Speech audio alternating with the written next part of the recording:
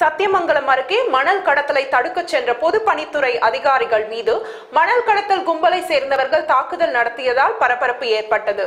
பொதுப்பணித்துறை ஊழியர்கள் தாக்குதல் நடத்தியவர்கள் மீது நடவடிக்கை எடுக்க கோரி ஆர்ப்பாட்டம் செய்தனர். ஈரோடு மாவட்டத்தின் முக்கிய நீராதாரமாக விளங்கும் பவானிசாகர் அணையில் தற்போது விவசாயிகள் வண்டல் மண் எடுக்க அனுமதி அளிக்கப்பட்டுள்ளது. இதை பயன்படுத்தி மணல் கடத்தும் சமூக விரோத கும்பல் சித்தன்குட்டை பகுதியில் உள்ள பவானி ஆற்றில் இரவு நேரத்தில் லாரி மற்றும் டிராக்டர் டிராக்டர்களில் மணல் கடத்தும் சம்பவம் நடைபெற்று வருகிறது.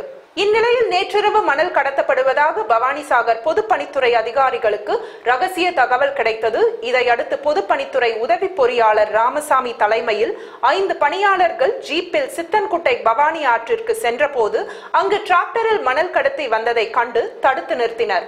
அப்போது டிராக்டரில் வந்த இரண்டு பேர் அதிகாரிகளை கண்டதும் தப்பியோடினர்.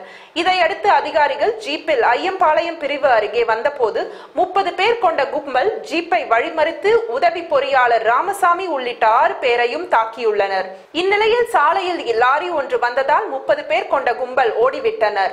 தாக்குதலுக்கு ஆளான பொதுப்பணித்துறை அதிகாரிகள் மணல் மாஃபியா கும்பல் மீது நடவடிக்கை எடுக்க கோரி இன்று பவானிசாகர் பொதுப்பணித்துறை அலுவலகம் முன்பு முப்பதுக்கும் மேற்பட்ட ஊழியர்கள் ஆர்ப்பாட்டத்தில் ஈடுபட்டனர். இதைத் தொடர்ந்து பவானிசாகர் காவல் நிலையத்தில் புகார் மனு அளித்தனர். மனுவை பெற்றுக்கொண்ட போலீசார் தாக்குதல் நடந்த இடம் சிறுமுகை காவல் நிலையத்திற்கு உட்பட்ட பகுதி என்பதால் அங்கு புகார் அளிக்குமாறு கூறினர்.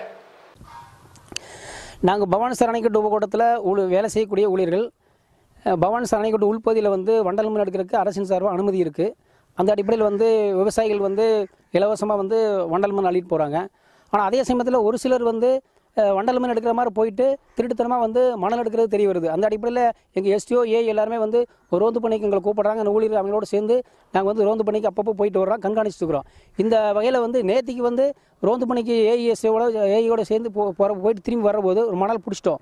மணல் வண்டி பிடிச்சது பிடிச்சி நிறுத்தினோடனே அங்கே இருக்கிற ஊழியர் ஒரு ஒரு சிலர் பேர் தகவல் தெரிஞ்சு வண்டியை வந்து குறுக்காட்டி வண்டி விடுறீங்களா இல்லை உங்களை கொண்டு போடுமோன்னு சொல்லிட்டு கல்லெடுத்து தாக்கம் ஏற்பட்டாங்க. சிலர் தாக்கிட்டாங்க. அதனால் அதுக்கு பயந்துட்டு நாங்கள் வந்து ஓடி வந்துட்டோம். அந்த வகையில் நாங்கள் எப்போ போனாலும் ரோந்துக்கு எங்களுக்கு பாதுகாப்பு இல்லாமல் இருக்குது. அவை அந்த மணல் திருட்டு தடுக்கணும்னு சொல்லிச்சுன்னா மாவட்ட வருவாய்த்துறை நிர்வாகமே பக்கத்தில் இருக்கிற காவல்துறை நிர்வாகமே எங்களோட சேர்ந்து ஒத்துழைப்பு கொடுத்தா தான் பண்ண முடியும். இப்போ இல்லைன்னா நாங்கள் எதுவுமே மணல் திருட்டு நட- தடுத்து நிறுத்த முடியாது. உயிருக்கு எங்களுக்கு பாதுகாப்பு கிடையாது. ஆகிய உயிருக்கு பாதுகாப்பட வேண்டும். காவல்துறை வந்து அந்த குற்றவாளி வந்து உடனே கைது செய்யணும். யாராவது நேற்று குறுக்காட்டினாங்களோ அடிச்சாங்களோ அவங்களெல்லாம் வந்து உடனே கைது செய்யணும். இல்லைன்னா எங்கள் பொதுப்பணித்துறை ஊழியர் சங்கம் சார்பாக ஒரு தொடர்ந்து நாங்கள் ஒரு பெரிய போராட்டத்தை நடத்த தர வழி இல்லை. எனக்கு பாதுகாப்பு கொடுக்க சொல்லி ஒரு பெரிய போராட்டத்தை நடத்த தர வழி இல்லை பணிகளை தெரிவித்துக் கொள்கிறோம்.